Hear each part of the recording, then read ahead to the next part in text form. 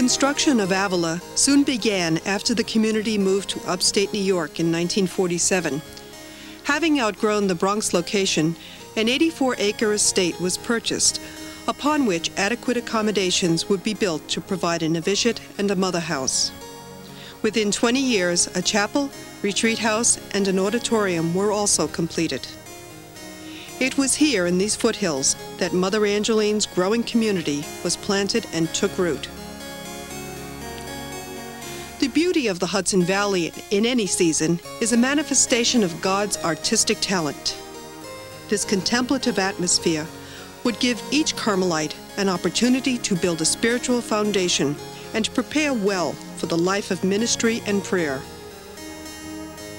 The year was 1967. Mother Angeline took her place among the great religious women of her day. The community and membership in homes for the elderly had blossomed forth. God was smiling gently upon that young girl he chose from the Scottish Highlands and led upon the path of his design. Many summers of Mother Angeline's years brought her great joy as the aged were cared for by the sisters in home like facilities.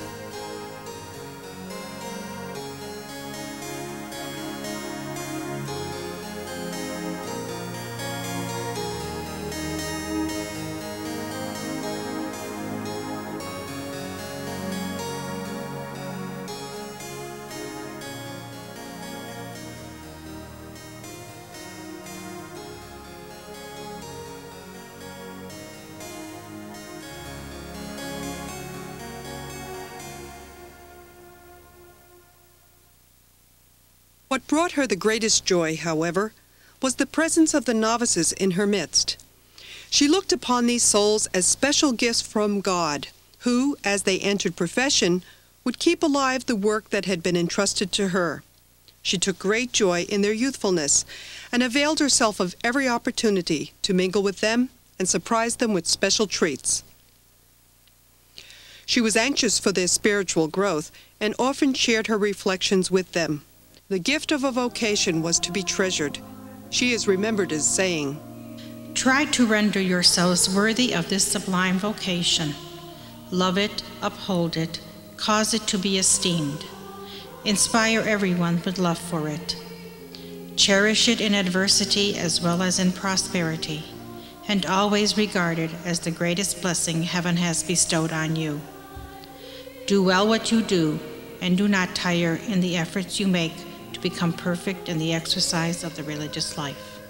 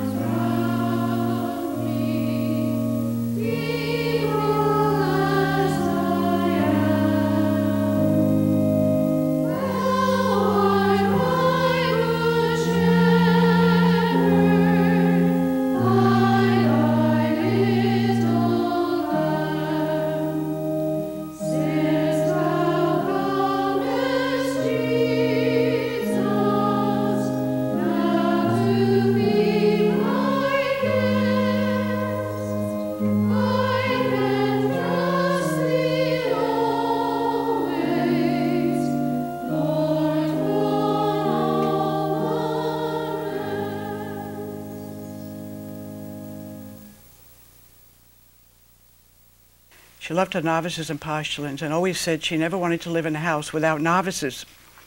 And the Lord was good to her because until the day she died, we always had novices living in the same house with Mother. At times you hear the question asked, what was really the greatest day of your life? What was the happiest day of your life? We all know naturally our First Communion Day was the happiest. From the first day we were founded, it has been our ideal to make each home a vestibule of heaven, and to keep our elderly people happy and well cared for. There was never room for a sad saint. So the novices contributed their share of fun and frolic to novitiate days.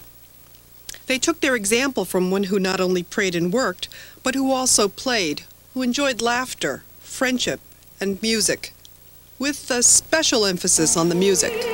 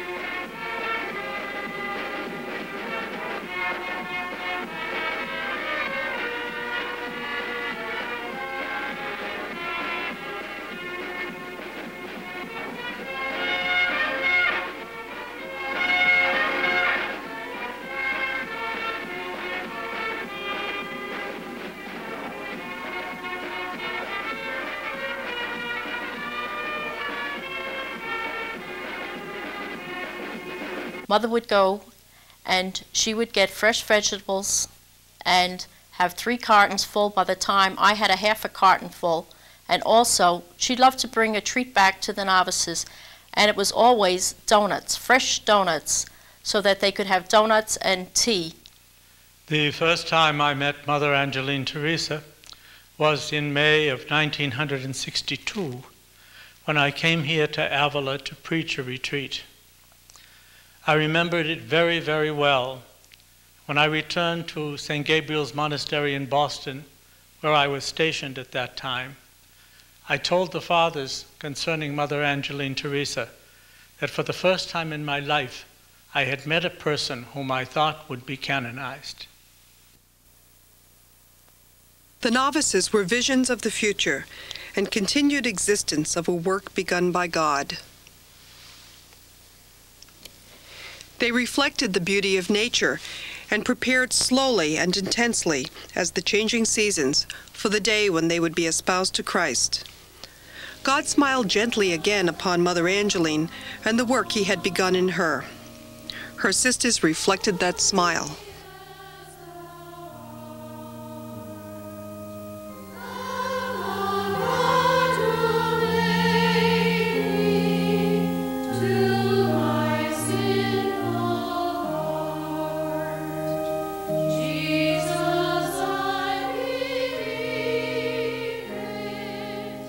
Mother Angeline was eager that each newly professed sister be well prepared to embrace the special ministry of the community. The challenge of providing high quality care is ours. We are the standard bearers against those who would exploit the infirmity of old age for their own profit.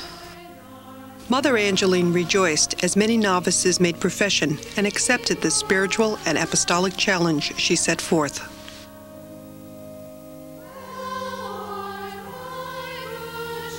She brought a new philosophy into the care of the aged, which makes her a pioneer in this work.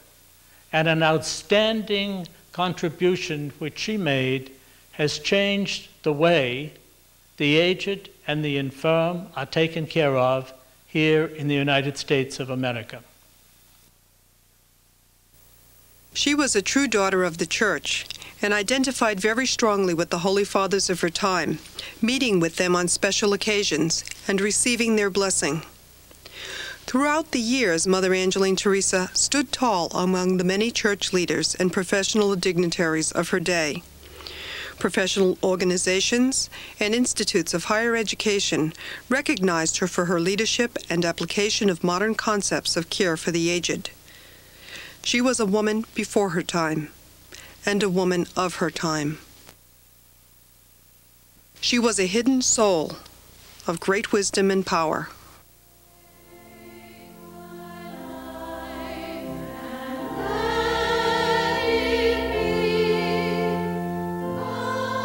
Mother saw in each priest Christ himself, and many regarded her as friend and confrere.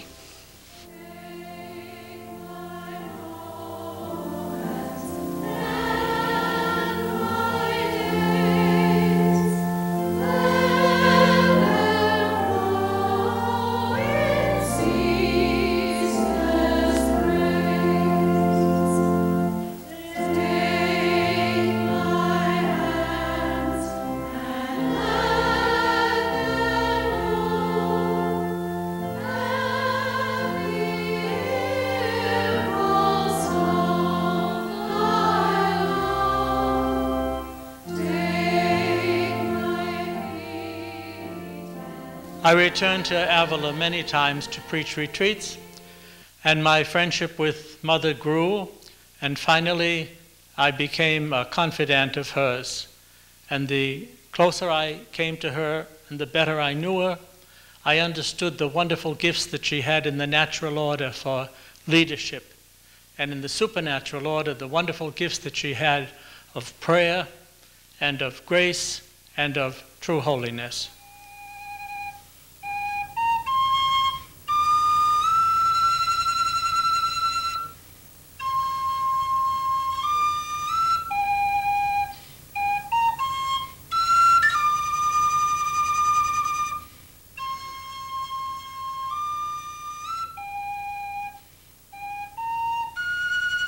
The beauty of summer gradually drifted into the magnificence of autumn. And so Mother Angeline slowly and silently entered into the autumn of her life. Her love, her mothering qualities, seemed to take on new meaning and expression. With the burden of responsibility slowly passed on to her successors, Mother reached out with caring hands to touch and express love and warmth to all who came to see her. The clergy of every circumstance saw in her a woman close to Christ and one who would leave an indelible mark upon the church. Her love for the priesthood was ever more strongly manifested as she responded to priests as dear friends and bearers of her Christ.